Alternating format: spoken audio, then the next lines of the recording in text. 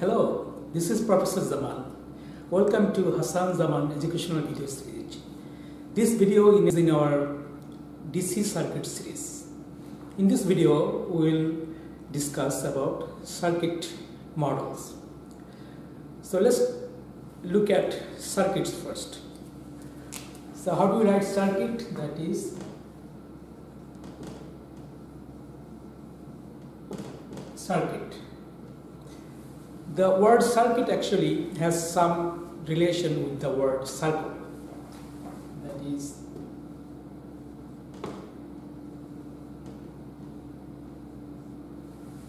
So that means a circuit actually has a circular shape.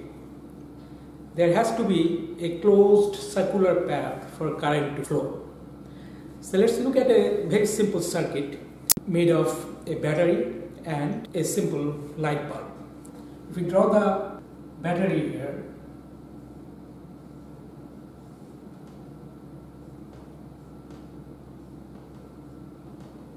so this is positive terminal, this is negative terminal. Let's assume this is a 12 volt battery. And if we attach a light bulb with it,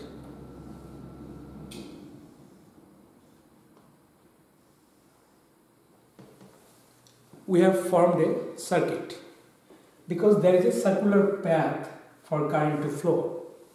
So in this circuit, current will flow from positive to negative terminal this way, but actually electrons will flow this way. We have learned that in our previous videos.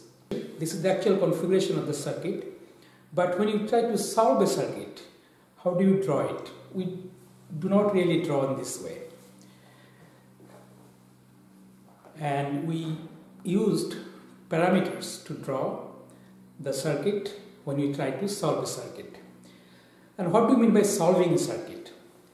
Solving a circuit means finding out the currents and voltages at different nodes and across different elements of a circuit. Battery we can draw the symbol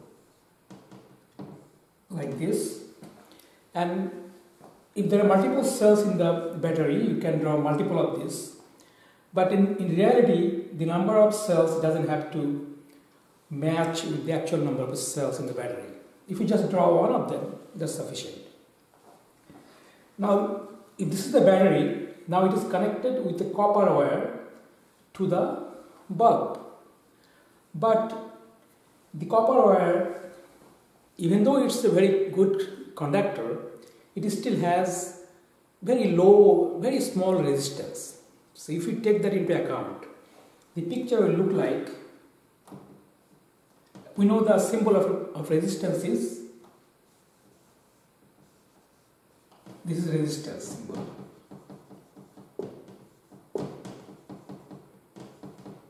Okay.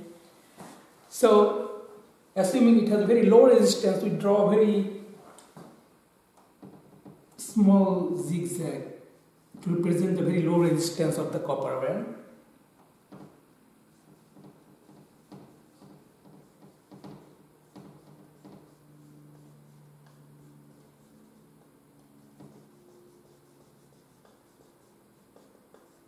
Now the actual resistance, the light bulb, which has a much bigger resistance, we can probably draw Then coming back with the copper wire.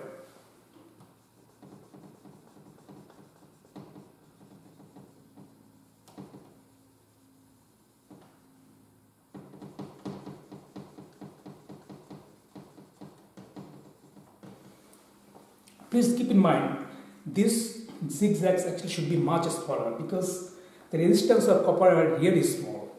Just to be able to see them, I drew them in much bigger way uh, this, this is really big because this is the actual resistor. By the way, uh, this is the resistance, but the thing is called actually resistor. So resistor has resistance to current flow. But people sometimes use either of them to mean a resistor. They, people can call it resistance or resistor. It's fine either way. Now if we try to solve this circuit, this is a circuit because current is flowing this way in a circular way and this is the positive terminal, this is the negative terminal. If we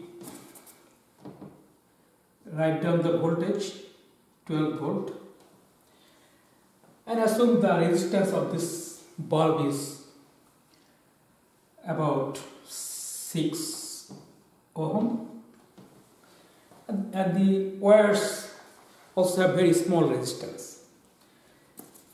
Now solving this circuit will be very difficult because you will have voltage, this voltage will be dropped along the way and actually to find do an actual solution you have to use a computer. You cannot really solve it by hand because this is a complicated structure and you, you need to solve actually very complicated equations are, we call Maxwell's equations to solve such a distributed circuit. Uh, why, why we are calling it a dist distributed circuit? Because the parameter resistance is distributed and also the voltage source is also kind of distributed inside the battery.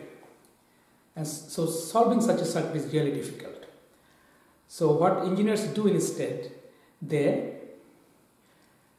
make a simplified model of the circuit. So before we go to the simplified model, let's write the name of this circuit.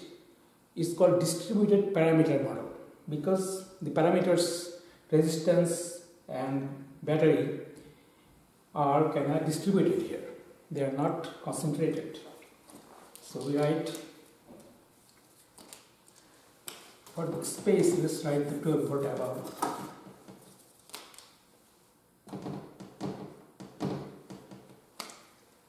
And we write distributed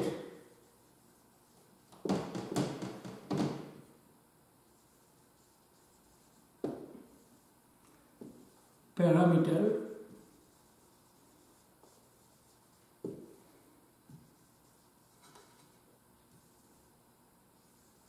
model. Now, if we draw the simplified version of the circuit, that will be like this.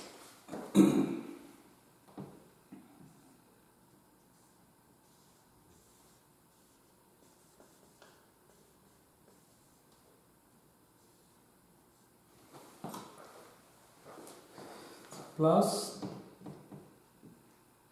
minus 12 volt this is again.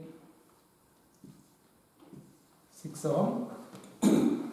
So in this model we have ignored the very small resistance of the copper wires. You can also do another thing.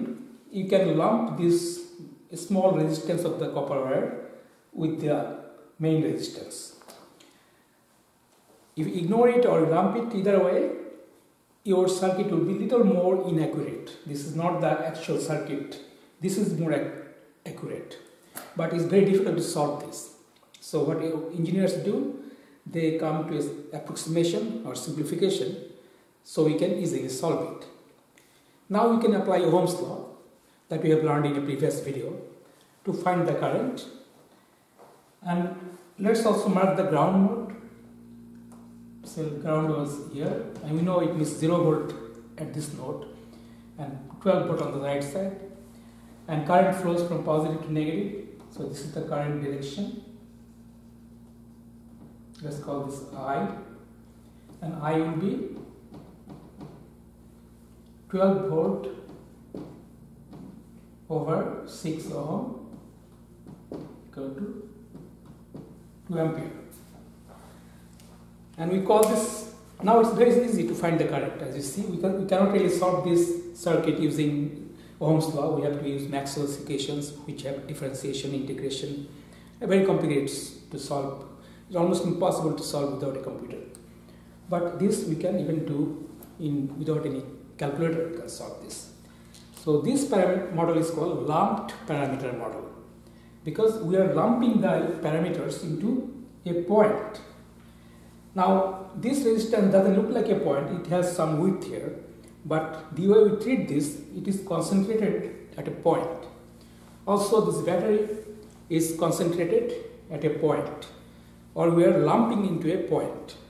So when you lump the parameters, it becomes much easier to solve the circuit. We find the current, now we can find voltage across all the elements. We already know this voltage is 12 volt and this voltage will be using Ohm's law 2 ampere times 6 ohm that is if, if we call this VR VR will be I times R, where R is this resistance, it will be 2 times 6, 12 volt. So this 12 volt is being dropped in this resistance. So we found everything. Notice one thing, the positive sign here on the right side, that means voltage is higher on this side, 12 volt on this side, and 0 volt on the, on the left side. And we are assuming this wire has no resistance in the lump parameter model. Let me write down that term lumped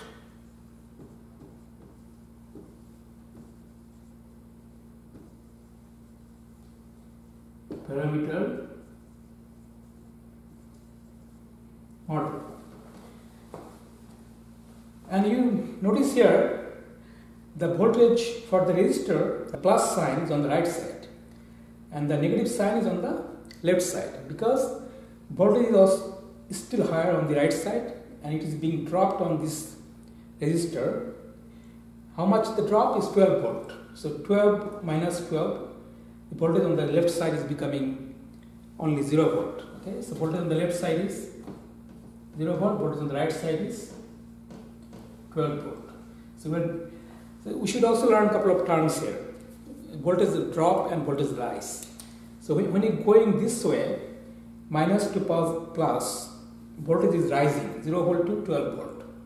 And when you come this way here, you're coming from plus to minus, voltage is dropping. We call this voltage drop and this is voltage rise. A battery causes voltage rise and a current in a resistor causes voltage drop in the direction of the current flow. The current is flowing this way, it will drop this way. Okay? And voltage is rise, rising this way because current is actually this way. So in this resistor, voltage drop is happening this way and rise is happening this way. The rise is just the opposite of drop.